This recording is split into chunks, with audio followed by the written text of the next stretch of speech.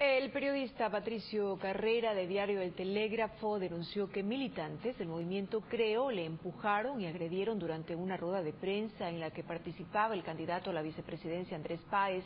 El periodista señaló que recibió improperios luego de haber preguntado al señor Páez sobre su supuesta relación con Daniela Alejandra Ortiz de la empresa Teletún.